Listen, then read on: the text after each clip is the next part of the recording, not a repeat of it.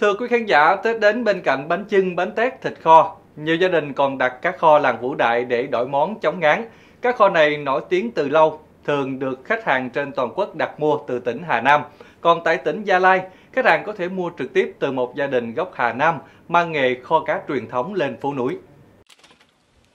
Những ngày cận Tết Nguyên đán, khu vực bếp của gia đình chị Trần Thị Hoa, 42 tuổi, trú tại phường Thống Nhất, thành phố Pleiku, tỉnh Gia Lai, luôn đỏ lửa cả ngày lẫn đêm. Ngay từ đầu hẻm đã thơm lừng mùi cá kho hấp dẫn.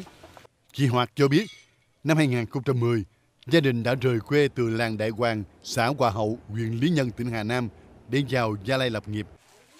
Khi mới vào, gia đình chị gặp nhiều khó khăn vì không có việc làm.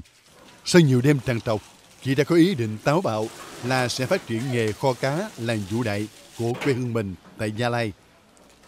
Những ngày bình thường, chị và chồng nấu khoảng 15 đến 20 nồi một ngày.